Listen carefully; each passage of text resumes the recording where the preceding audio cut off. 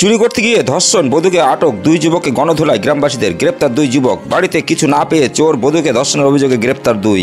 বসিরহাটে হাসনাবাদ থানার খড়মপুর খাড়াপাড়ার এলাকার ঘটনা। দুই যুবক বছর একত্রিশের আমজাদ মোল্লা, বছর ছাব্বিশের সাজ্জাক মোল্লা। এদের বাড়ি খড়মপুরে এই দুই যুবক স্থানীয় এক বাড়িতে চুরি করতে ঢোকে। ঘরে কিছু অর্থাৎ না পেয়ে ঘরের একুশ বছরের গৃহবধূকে ধর্ষণ করে। সেই সময় তাদের চিৎকার, চেঁচামেচিতে গ্রামবাসীরা ছুটে আসে। ঘরের ভেতর থেকে এক যুবককে হাতে নাতে ধরে ফেলে। বাইরে দাঁড়িয়ে ছিল আরও এক যুবক। এই যুবকের দুজনকে গণধোলায় দেয়। তারপর হাসনাবাদ থানা পুলিশ হাতে তুলে দেওয়া হয়।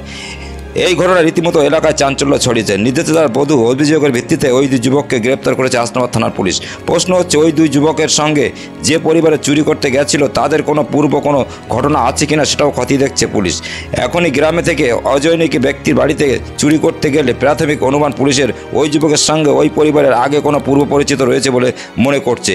যেহেতুদের আজ বসিরহাট মহকুমা আদালতে তোলা হয়েছে। তাদেরকে পুলিশ হেফাজতে নেওয়ার আবেদন জানিয়েছেন বিচারকের কাছে হাসনাবাদ থানার পুলিশ। পাশাপাশি ওই নির্যাতিতার বসিরহাট জেলা হাসপাতালে মেডিকেল পরীক্ষা করানো হয়েছে। তারপর ম্যাজিস্ট্রেটের কাছে জবানবন্দি দেবেন বলে এমনটাই জানা গেছে। দেখুন সেই চিত্র।